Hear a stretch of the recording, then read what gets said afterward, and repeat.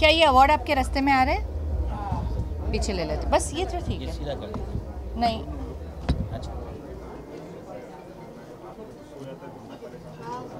Back to back back to back back to back awards आ रहे हैं आपके पास। क्या कुछ कहना चाहोगे? कितना अ, कितनी खुशी महसूस हो रही है? बहुत खुशी महसूस हो रही है और ये वेल डिज़र्व्ड अवार्ड है।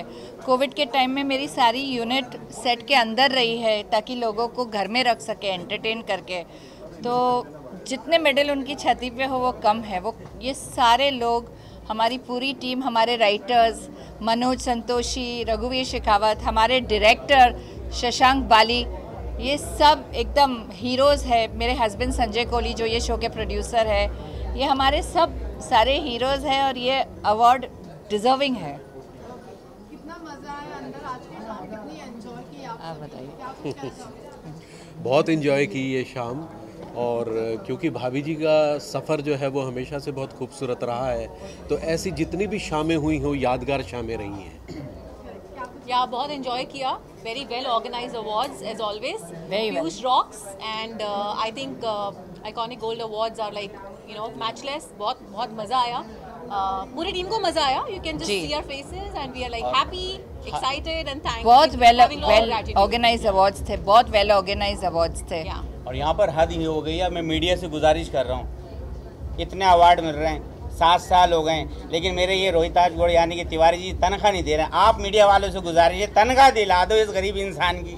सेठ जी रोहित भाई पर बन जाएगी सैलरी तिवारी जी तिवारी जी से जवाब बोलो।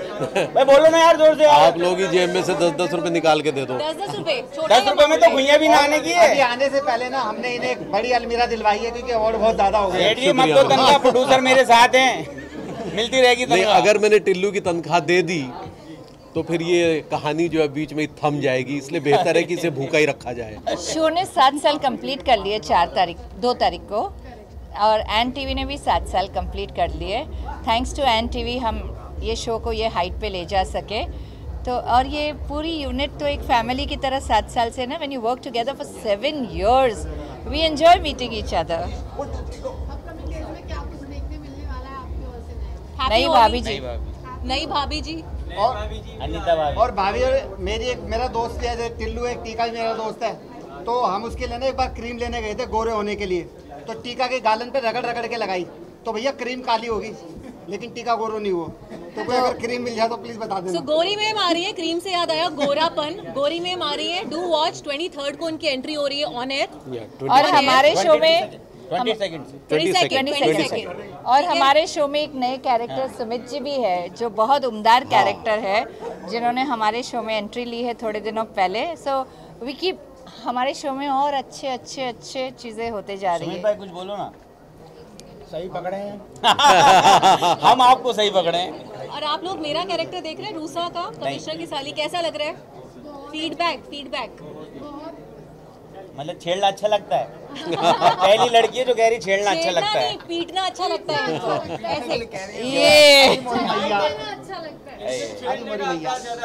अरे वाह थैंक यू एक बार छेड़ के दिखाओ तुझे छेड़ लो okay thank you thank you thank you और आप लोगों का बहुत बहुत थैंक यू आप लोग बहुत मेहनत करते हैं। मैं उस तरफ़ रह चुकी हूँ तो मैं अंडरस्टैंड करती हूँ कि आप लोग कितनी मेहनत करते हैं। और हमारी कितनी हौसला अफजाई करते हैं। थैंक यू सो मच आपके लिए थैंक यू शुक्रिया। थैंक यू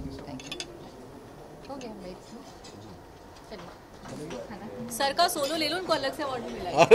हाँ उनको बेस्ट एक्टर अवार्ड मिला है कॉमेडी में इनका सोलो ले लो। चलिए ठीक है। कहिए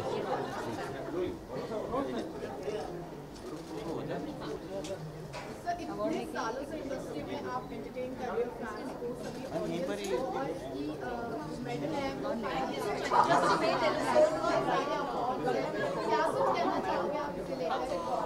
देखिए सबसे बड़ी बात ये है कि हम उस ज़माने से काम कर रहे हैं जब डी डी वन था। तब मैं नेशनल स्कूल ऑफ़ ड्रामा में था। और नेशनल स्कूल ऑफ़ ड्रामा पास करने के बाद सिर्फ़ डी डी वन था और कुछ था ही नहीं। और मैं बम्बई तब आ गया था जब तेरह तेरह और दस दस एपिसोड्स के सीरियल बना करते थे। 1989 की बात बता रहा हूँ। तब से लेकर आज तक जो टेलीविज़न में चेंज आया है, परिवर्तन हुआ है, चाहे वो कंटेंट को लेकर हो, वो बड़ा ही बेहतरीन है।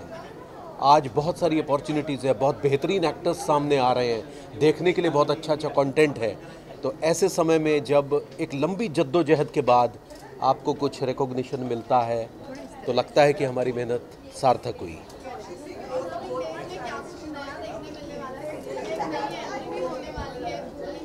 क्या हाँ वो एक बहुत अच्छी एक एंट्री है हमारे सीरियल में। और हम लोग आजकल कुछ हॉरर कॉमेडीज़ पे वर्क कर रहे हैं। हॉरर कॉमेडीज़ क्योंकि हमने पीछे देखा कि वो काफ़ी अच्छा वर्क किए उन चीज़ों ने। तो उनके नए नए आयाम हम लोग तलाशने की कोशिश कर रहे हैं अभी। और हो सकता है मैडम चाहे तो हम कुछ एक आउटडोर शूट्स पर भी जाएँगे, जो कि कोरोना की वजह से काफ़ी समय से रुके हुआ था।